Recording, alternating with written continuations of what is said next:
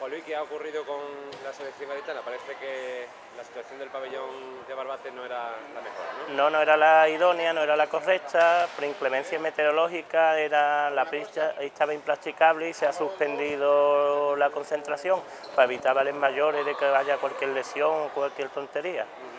¿Y eso no se preveía? Eh, ¿La situación del pabellón Pues- hombre, no será la primera que se Normalmente se llueve, ¿no? ese pabellón suele tener problemas a la hora de que hay que haya días malos, haya, haya agua y eso, pero vamos, mm, ha sido cuestión de mala suerte.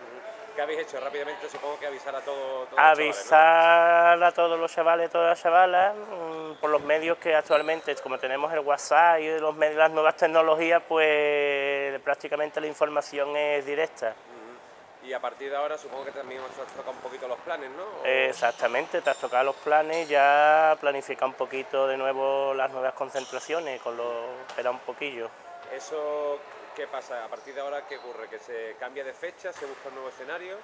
Pues ¿O eso, de- la gaditana no os ha dicho nada? eso depende de la delegación, ya cuando se reúnan y vean el, el altarca- eh, lo que ha sucedido, pues ya ellos determinarán y buscarán y, deter- y una nueva fecha, un nuevo escenario, ya ellos ah, obrarán en obrarán. Ajá. De todas formas, ¿cómo está la situación del balonmano gaditano? Parece que poco a poco se quiere y Sí, sí, hacer parece. crecer el, el deporte en la, en la provincia, ¿no? Sí, parece que sí, que está arrancando un poquillo ahí el tema y a ver si vamos, se va arrancando el deporte, la base aquí en el balonmano en la provincia, que buena que falta que le hace. Y en Algeciras sí que estamos... En Algeciras sí, en Algeciras ¿no? sí, la base está pegando fuerte.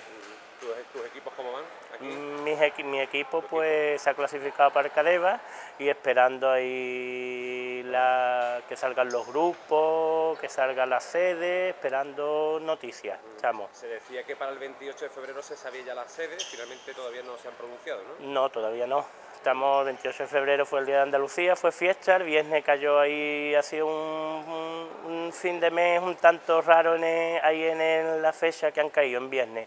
Quizás a lo mejor se pronuncien el lunes. Muy bien, muchísimas gracias, Juan Luis. A ti.